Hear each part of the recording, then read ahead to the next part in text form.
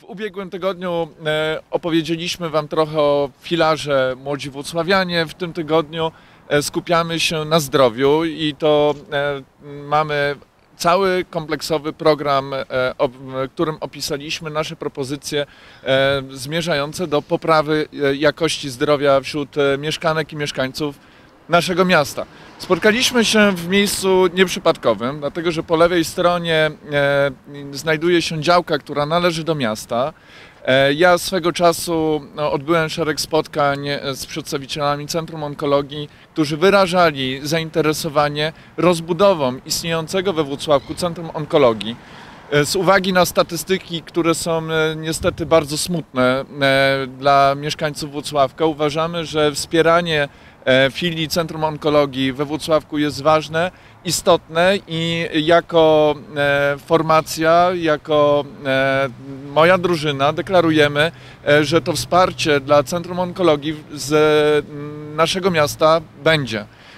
Może być oczywiście e, wsparcie e, takie rzeczowe wręcz, czyli możliwość przekazania z bonifikatą działki. Zresztą e, my jako radni e, chyba dwie czy trzy kadencje temu e, działkę obok e, przekazaliśmy z bonifikatą e, Centrum Onkologii. Powstał nowoczesny zak- zakład teleradioterapii. Co do tej działki, przy której teraz się znajdujemy, też wiem, że Centrum Onkologii ma swoje plany, więc z naszej strony jest jasna, klarowna deklaracja, że będziemy wspierać rozwój filii Centrum Onkologii w naszym mieście. E, Tym bardziej, że mamy świadomość, że z e, tego Centrum Onkologii korzystają nie tylko mieszkańcy Włocławka, nie tylko mieszkańcy byłego województwa włocławskiego, ale e, nawet mieszkańcy województwa mazowieckiego czy łódzkiego, więc wiemy, że jest to ważne, istotne i to też się wpisuje mm, w mm, kontekst ustawy, którą akurat wczoraj Senat podejmował odnośnie sieci pomocy onkologicznej. E, e, e, To jest filar, myślę, że zdrowi włocławianie bardzo istotny, bardzo ważny. Ten element, o którym powiedziałem, też jest bardzo ważny. My jeszcze deklarujemy i to robimy konsekwentnie już od dłuższego czasu, że chcemy, żeby w każdej szkole w naszym mieście był gabinet stomatologiczny. Uważamy, że opieka stomatologiczna e, powinna być dostępna dla każdego, niezależnie od tego, e, jak e, bogatych ma rodziców. Dzisiaj niestety jest tak, że e, dzieci, e, które mają szczęście żyć w bogatych domach, e, są zaopiekowane stomatologicznie, ale większość dzieci niestety e, nie ma żadnej pomocy stomatologicznej. My chcemy e, to zmienić i chcemy jako formacja, chcemy, żeby e, ta opieka stomatologiczna, tak jak dawniej było, wróciła do szkół i e, te przeglądy zębów, czy takie podstawowe leczenie, żeby się mogło odbywać w szkołach. Konsekwentnie też jako formacja mówimy o konieczności wsparcia zdrowia psychicznego wśród dzieci i młodzieży. Dzisiejsze czasy są bardzo, bardzo trudne dla dzieci i młodzieży i tutaj też te gabinety psychologiczne e, dla dzieci e, w szkołach chcemy tworzyć i chcemy, żeby dostęp do tego psychologa e, wśród dla dzieci był jak najszerszy, jak najbardziej efektywny. No i jak już kończąc ten wątek młodzieżowy, naszym celem też jest, żeby każdy absolwent szkoły podstawowej, czyli e, no już nastolatek, miał podstawową wiedzę, podstawową umiejętność udzielania pierwszej pomocy przedmedycznej. Nigdy nie wiemy, kiedy taka umiejętność e, się przyda, stąd chcemy postawić na powszechność e, tych zajęć, tak żeby każdy młody człowiek, który kończy szkołę podstawową, e, tą taką podstawową e, wiedzę e, w tym zakresie miał. E, No, zacząłem od Centrum Onkologii, bo jest to e, bardzo ważne, ale też e, tą moją wypowiedź skończę również kwestiami dotyczącymi chorób nowotworowych. Chcemy wprowadzić i, i, i mamy dobre przykłady z innych samorządów.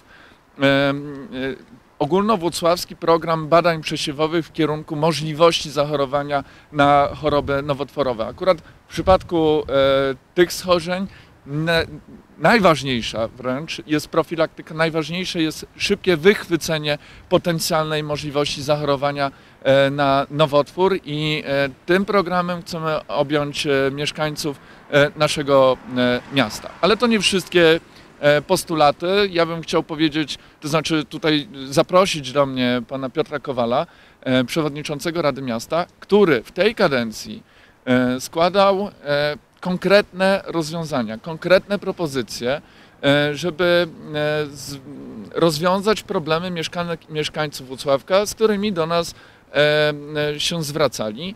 I mam wrażenie, że te, jestem o tym przekonany, że te propozycje, które mamy, są realne, skuteczne, możliwe do wykonania i jako drużyna Kukuckiego deklarujemy, że to zrealizujemy. Szanowni Państwo, faktycznie temat, y, który pojawiał się już y, chyba prawie 3, 2-3 lata temu, a o którym często rozmawiam na sesji, czyli temat y, apteki całodobowej. On się przewija e, w dyskusji publicznej już od dłuższego czasu. Najpierw sytuacja uległa zmianie na skutek zmiany przepisów, gdzie zabroniono podmiotom e, leczniczym, takie jak szpitale, takie jak przychodnie, prowadzenia swoich aptek. Kwestia konkurencyjności została tam podnoszona, natomiast ta zmiana przepisów doprowadziła do sytuacji, gdzie tylko podmioty prywatne, e, a wiadomo, jak, e, że w większości przypadków podmioty prywatne kierują się głównie zyskiem, e, spowodowało to, że ta misja prowadzenia apteki całodobowej zaniknęła.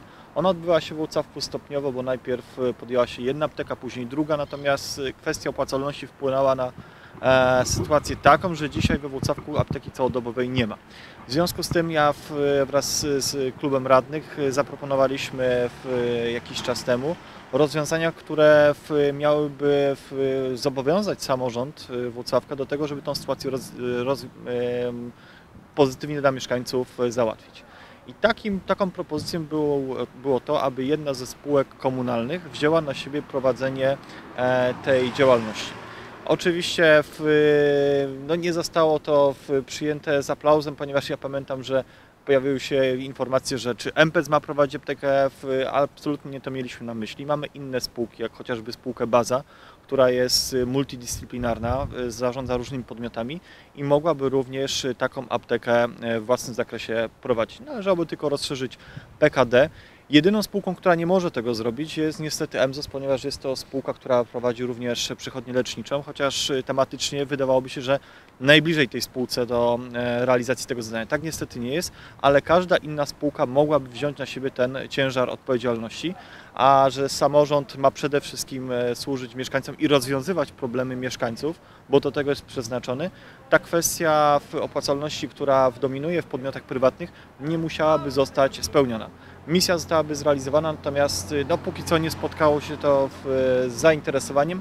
Mamy nadzieję, że w kolejnej kadencji, kiedy ta pełna odpowiedzialność czy współodpowiedzialność spadnie na e, nasze ugrupowanie, na naszą drużynę, to tą kwestię uda się zrealizować. Drugi pomysł, który zaproponowaliśmy, to fakt, aby jedna z, z miejskich spółek E, chociażby ZUS udostępniła w, o, w bardzo zaniżonym e, czynszu pomieszczenie na prowadzenie apteki podmiotowi zewnętrznemu z warunkiem prowadzenia apteki całodobowej. Wówczas e, my zmniejszylibyśmy pobory za wynajem pomieszczeń dla takiej apteki, która by wynajmowała pomieszczenia, kosztem tego, że ta apteka prywatna wówczas prowadziłaby opiekę całodobową. Byłby to zapis.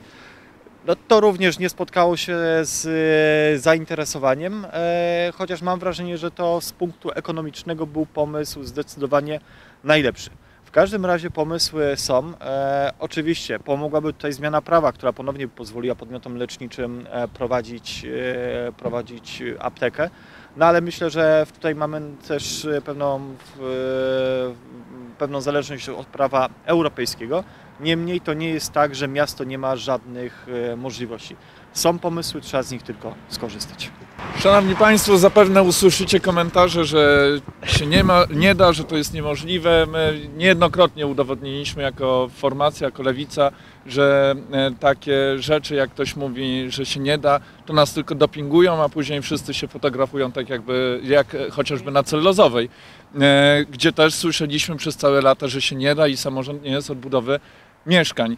E, Więc e, tu jest jasna nasza deklaracja, my to zrobimy, wiemy jak to zrobić e, i mieszkańcy mogą być spokojni, jeżeli zdecydują się na wybór kandydatek i kandydatów z listy lewicy w najbliższych wyborach do Rady Miasta, jeśli wybiorą prezydenta z naszej listy, to całodobowa miejska apteka we Włocławku powstanie i ona będzie funkcjonować, będzie dobrze służyć mieszkankom, mieszkańcom naszego miasta. Myślę, że trzeba by poruszyć problem i funkcjonowania naszego szpitala wojewódzkiego.